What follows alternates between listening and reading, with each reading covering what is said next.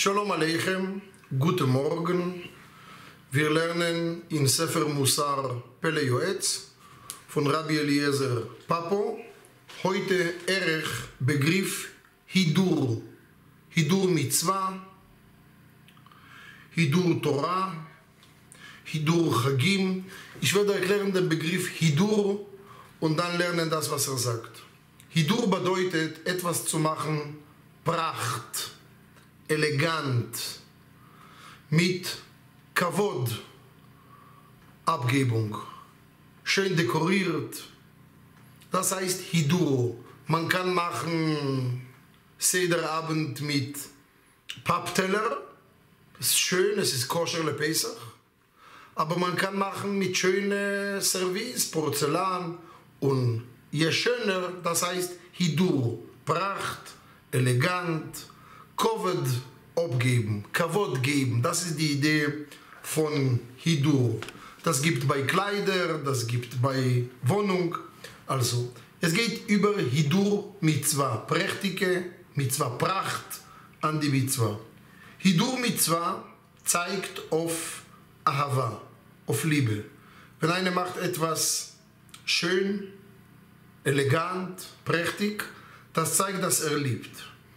Wenn einer dient Hashem vom Jirah, vom Ehrfurcht, vom Pflicht, vom Joch, er will nur den Pflicht ausüben, so wie man sagt, abhacken. Gesagt, gemacht.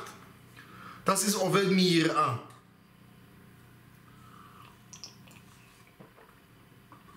אבל העובד מאהבה, wenn einer dient Hashem mit Ahava, mit Liebe, je mehr er liebt Hashem, umso sucht er מצות מהודרות, יין מהודר, הגדה מהודרת, Kleider, also alles, was er braucht, sucht er schön, soll gar nichts fehlen. Und je mehr der Mensch macht das schön, elegant und prächtig, das ist ein Beweis und ein Zeichen, dass er übt die Mitzvah, ואהבת את השם אלוקיך, du sollst lieben Hashem, dein ganzen, mit dein, Hashem, dein Gott, mit deinem ganzen Herz, mit deinem ganzen Trieb und mit deinem ganzen Vermögen. Bechol Meodecha bedeutet auch mit sein Geld. Und wenn jemand liebt Hashem, er ehrt die Kavod von Hashem, es ist ihm wichtig.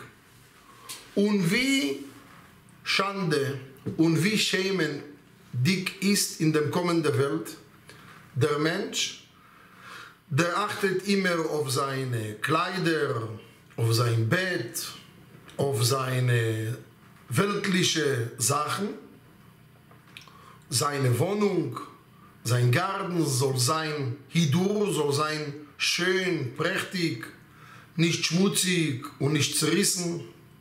Und er macht sein Haus mit schönen Verzierungen und Stocko und verschiedene Gemälde. Aber wenn es kommt zum Mitzvot von Hashem, er achtet nicht auf eine zerrissene Talis. Manchmal sehe ich Leute in die Synagoge, sie haben so ein alte, schmutzige Talis oder zerrissene, du fragst, Elokim, der Mann kann sich nicht leisten, eine weiße, glatte, schöne Talit. Und das beleidigt Hashem, wenn äh, jemand auf seine Sachen achtet gut und auf die Sachen von Hashem abgehakt. Ja, gib mir irgendeine Mezuzah, gib mir irgendeine Tfilin, gib mir irgendeine Matzah, gib mir eine koscher Etrog. Welcher Preis? Äh, 40 Euro. Aber es gibt schönere, 60. Nein, es reicht mir. Wenn eines ist ihm wichtig, er wird suchen das Allerschönste. Und es steht geschrieben, Kabed et Hashem mehoncha. Ehre dem Ewigen von deinem Vermögen, von allen Talenten, die hat er dir gegeben. Und wenn eine gibt Ausgaben auf Mitzvot, um schön zu machen, Hidur, prächtig zu machen, Isa bracha met Hashem Zvaot. Er wird bekommen einen Segen von Hashem. Kol kavel bemile de alma adem. Alle Sachen in dieser Welt soll er nicht dran 100% achten. Er muss nicht haben die schönste Haus und Palast. Man muss nicht haben die schönste teure Kleider.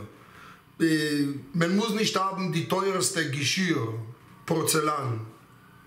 Warum? Weil wir sind fremd und gehen Beoretz und wie Gäste, die gekommen zu schlafen. Aber steht geschrieben in Eruvin 54, im Hatevlecha, wenn du hast, kauf, genieß, mach dich gut, schöner Satz. Der Talmud sagt in Eruvin, wenn du hast, mach dich gut das Leben. Und jeder Mensch gemäß das, was er hat, wenn ein Mensch hat Reichtum und viele Vermögen, soll er kaufen teure äh, Haus und soll er kaufen neue äh, Kleid und neue Kleider und Decke und alles was er will teuer aber soll er nicht verschwenden dem Zeit um reich zu sein und zu kaufen weltliche Sachen und genießen weil wenn der Mensch hat schon ein Brot zu essen und Kleider zu anziehen und ein Ort zu schlafen der Rest soll er sich Hidur machen beim Mitzvot von Hashem? Soll er sich leisten Torah-Unterricht? Soll er sich leisten Bücher? Soll er sich leisten Kiddush zu geben in die Synagoge? Soll er sich leisten schöne Matzot, schöne Agada, schöne Kleider für Pesach, schöne Tfilin? Es gibt sehr oft Leute, die kaufen Tfilin zum Bar Mitzvah, ja, gib mir irgendeine. Ja, irgendeine. Da, wenn du kaufst einen Laptop, suchst du eine gute, Mehudar. Wenn, wenn du suchst ein Telefon, suchst du einen Mehudar. Genauso bei Mitzvot soll man suchen Mehudar. Und wenn jemand war reich und er hatte Reichtum und Vermögen und irgendwann die Passierungen von der Zeit, es ist passiert, dass er hat verloren, und auch wenn Hashem hat ihm gegeben jetzt alles wenig, soll er nicht Vorwürfe und Schmerz und Wut auf Hashem erwecken. Also hier der Pelle Joetz kommt auch zu einem Teil von Emunah in seine Musar. Eine Sekunde, jemand ist am Tür.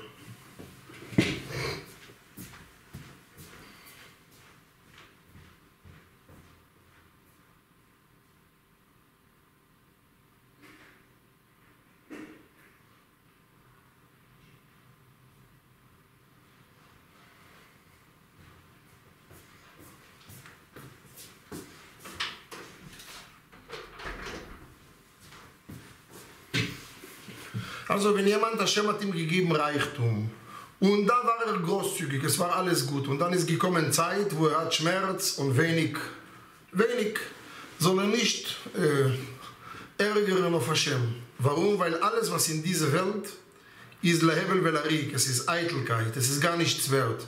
Wir haben gar nichts vom Leben, left over, bleibt uns gar nichts, nur das, was wir Hashem dienen und wir machen nachher Tuach zu Hashem. Das soll sein unsere Richtung, unsere Tendenz, unsere Wunsch. Das ist unser Haus. Das heißt, der Mensch kommt in diese Welt, um sich zu bauen, seine eigene Welt im Himmel. So wie steht geschrieben in Kohelet, Holech Adam lebeit Olamo.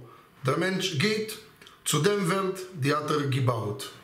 Also, immer wenn es gibt zwei Wörter, Kasher oder Kasher Lemehadrin, Lemehadrin ist immer besser.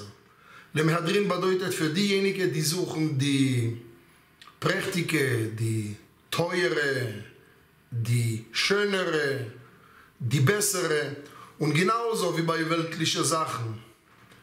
Wenn der Mensch weiß nicht und er hat keine Ahnung, er fragt, genauso bei Mitzvot und Torah, wenn der Mensch weiß nicht, soll er mit jemandem beraten. Ja, wo soll ich kaufen Mezuzah? Wo soll ich äh, kaufen guten Haggadah für Pesach? Wo soll ich kaufen Matzot? Und es geht nicht nur, Menschen reden über die Matzot, ja, das schmeckt und das schmeckt nicht. Das ist schön. Spielt auch eine Rolle. Soll auch schmecken, soll auch schöne Mitzvah sein, aber es geht um Hidur von Mitzvah und Kashrut. Und er sagt, wenn einer macht nur den Pflicht, abgehakt, das ist Oved Mira, er dient Hashem vom Ehrfurcht von Joch, aber wenn einer sucht, äh, die schönere, die bessere, die elegante, denn das ist Hidur Mitzvah. Und steht geschrieben, für Hidur Mitzvah soll man geben bis eine Drittel von dem Preis. Das heißt, wenn es gibt, äh, sagen wir, etwas, das kostet 100 Shekel, und es gibt bessere und schönere bis 130, 140 Shekel, kauf die teure. Aber wenn die andere ist schon 200, 300, dann soll man sich beraten schon mit jemand über die Sache. Aber soll man doch schlicht Drittel mehr geben auf Hidur, auf bessere, auf schönere. Schkoich.